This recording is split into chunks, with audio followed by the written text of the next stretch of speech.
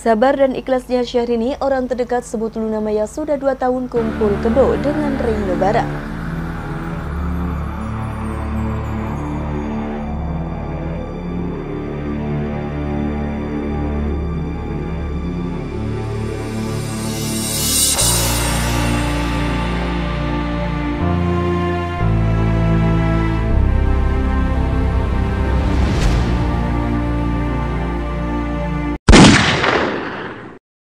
Dapur berita artis terkini.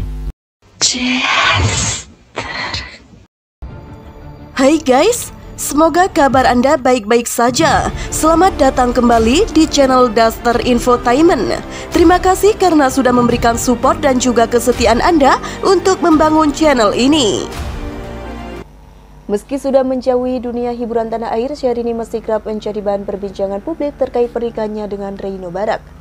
Syahrini pada tahun 2019 membuat heboh publik karena secara diam-diam menikahi Reino Barak di Jepang. Pendekatan Syahrini pada Reino Barak terbilang sangat cepat, karena tidak lama setelah putus dari Luna Maya di 2018, Reino menikahi Inces.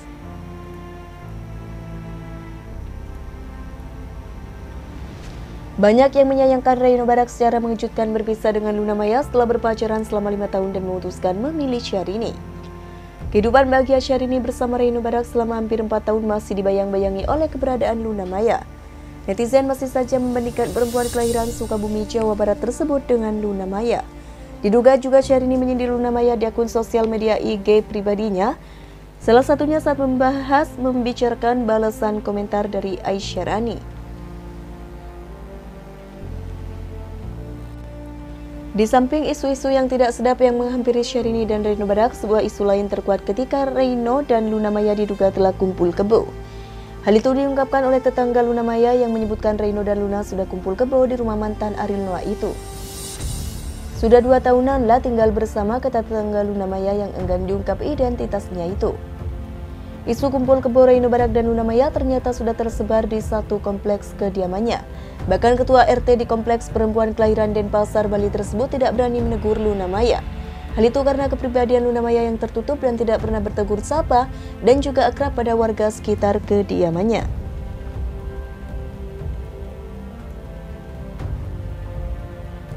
Membayar iuran kompleks sekalipun Luna Maya menyuruh pembantunya untuk membayar sebagai wakilnya.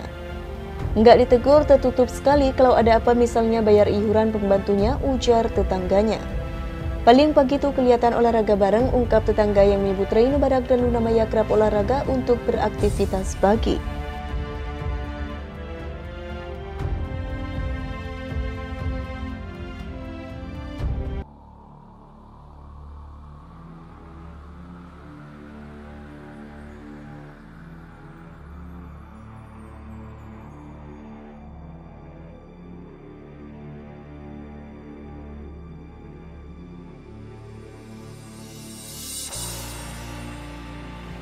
Niat pamer lagi main tenis dugaan palsunya bagian sensitif tubuh Syahrini terungkap. Beragam aktivitas Syahrini selalu menjadi perhatian publik. Tak heran karena istri Leni Barak ini merupakan salah satu artis terkenal di Indonesia. Ketenaran Syahrini ternyata hanya sebatas di panggung hiburan. Di luar itu, istri dari Leni Barak ini juga tetap mendapatkan atensi dari para penggemarnya. Namun yang unik perhatian terhadap Syahrini tak hanya berasal dari para penggemarnya saja,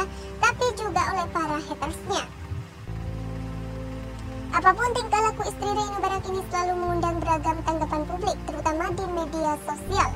Seperti halnya baru-baru ini, Syahrini mengunggah foto dan video dirinya bersama Reino Barak sedang bermain tenis. Di akun Instagramnya @princess_syahrini.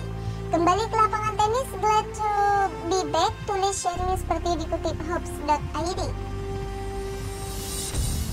Dalam video dan foto yang diunggahnya itu, terlihat Syahrini itu tengah bermain tenis menggunakan legging hitam dipadu dengan sweater hoodie berwarna abu-abu.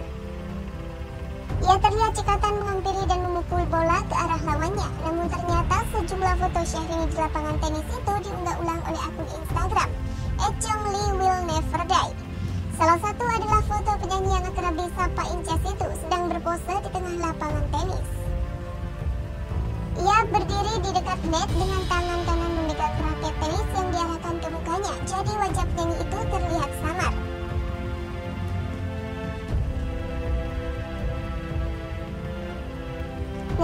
menjadi perhatian akun tersebut bukanlah pasenya, bukan pula ekspresi wajah ataupun gaya dari Syekh ini. Perhatian admin akun Instagram @changlingwillneverdie justru tertuju pada bagian sensitif lantun lagu berjudul Lagu Memilih Aku Itu. Sekilas mungkin tak ada yang aneh pada salah satu bagian tubuh Syahrini itu, namun akun tersebut justru memberikan keterangan dalam caption yang mengundang perhatian dari netizen lainnya. Sumpelan tak muncul ke samping kasihan, tulis akun tersebut dalam postingannya.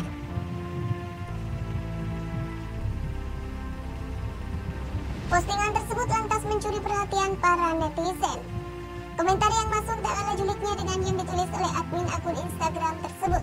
Astaga Tini kok semua-semua palsu toh tulis salah satu netizen. Kenapa ditutup-tutupin muka palsu musuh sambung netizen lainnya. Gue masih gak paham apa konsep posenya dia. Gak estetik sama sekali celetuk netizen lainnya. Meski tak banyak bicara di depan publik saat ini, Syahrini masih terus menerima komentar negatif dari netizen. Syahrini saat ini sedang fokus membangun